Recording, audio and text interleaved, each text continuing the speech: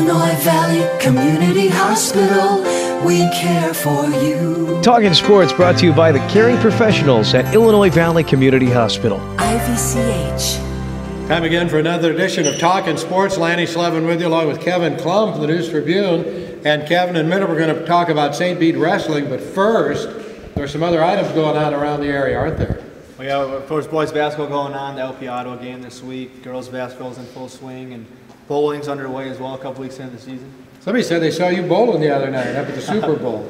Huh? No, that wasn't me. That wasn't you? No, Good. I then working. We'll get you down on the mats and here today. I understand you really want to get down on the mat. I do. I, my, my dad wrestled in high school. I never did, but I'll, I'll try it out here. Good. I'm going to fix you up with this guy right here, Blair Tiger, who is the head coach of the St. Bede Academy Bruins. And uh, coach, what kind of uh, success you going to have this year? I mean, you got any ideas? Well, we are blessed to have 25 uh, wrestlers out this year. It's our biggest year ever in a five-year history. Uh, we've got a lot of new first-year wrestlers.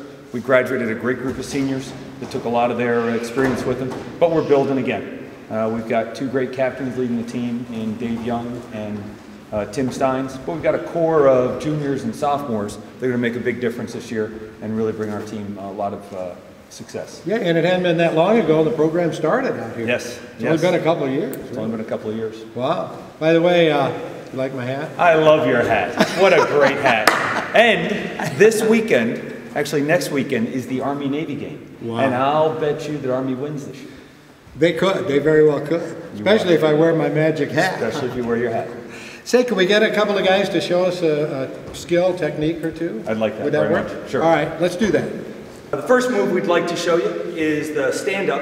Uh, I've got Justin Hunter on the bottom and Dylan Brace on the top, both two of my varsity wrestlers, and they're going to demonstrate uh, what we call the baby stand-up. Go ahead, Justin. Great, well done. Okay, our second move I'd like to show you is with our team captains. This is Dave Young on top and Tim Stein on the bottom. What Dave is going to demonstrate is what we call cheap tilt. It's a great way to get points. He's on top and the referee blows his whistle. They'll say, ready, begin.